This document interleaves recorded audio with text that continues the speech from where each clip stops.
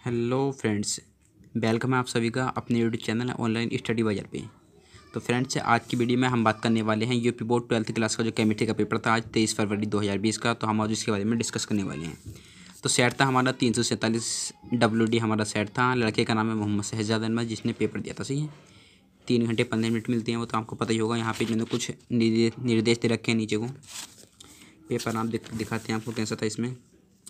यहाँ पे पहला ऑप्शन था इनका, किस कोटि की अभिक्रिया के लिए बेग तथा बेग स्थिरांक की इकाई समान होती है? तो यहाँ पे हमारा फ़र्स्ट वाला सही था, शून्य कोटि।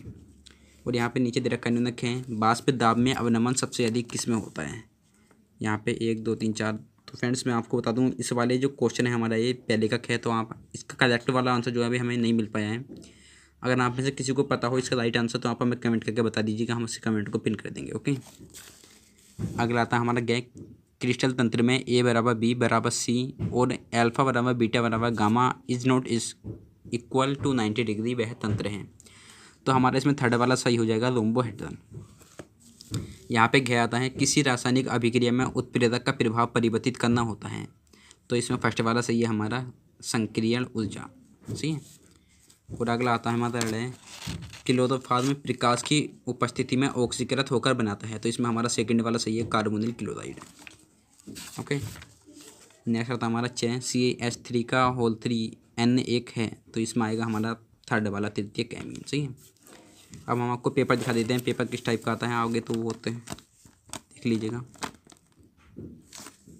इधर से भी ये है। पाँच नंबर का पेज यहाँ पे इन्होंने इंग्लिश में दे रखा है, कुछ नहीं है इसमें आगे दिखा देता हूँ, यहाँ से हमारा सेकंड वाला क्वेश्चन है।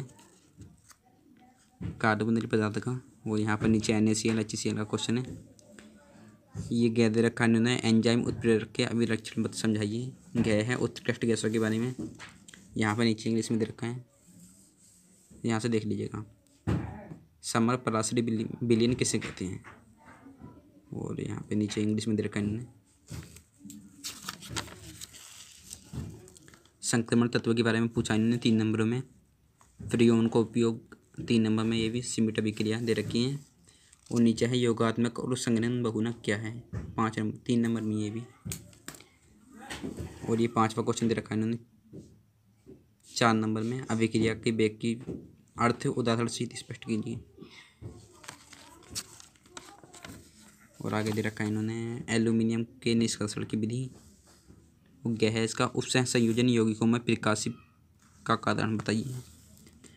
गह दे रखा है इन्होंने साबुन के बारे में पूछा इन्होंने चार नंबर में। और यहाँ पे फिनोल का, फिनोल के बारे में पूछा इन्होंने। क्रिया विरिया पूछी है, आप इन्हें देख कर बुक में लिख कर लीजिएगा इन्हें सोल्व यहाँ पे आगे दिखाता हूँ मैं, क्या होता है जब अभी क्रिया दे रखी इन्होंने। देख लीजिएगा आप, इनका प्रैक्टिस कर सकते हैं घर बैठ के। और ये आप कैसे प्राप्त करेंगे? अथवा में दे रखी है, ये पाँच आते हैं ये भी और ये भी।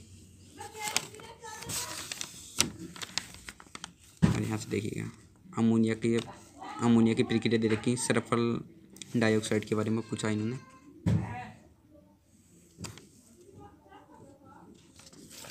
और यहाँ पे आकर पेपर फिनिश होते हैं। तो गाइज़ वीडियो अगर आपको अच्छी लगी हो तो प्लीज़ लाइक कर दीजिएगा और चैनल को सब्सक्राइब कर दीजिएगा। बाय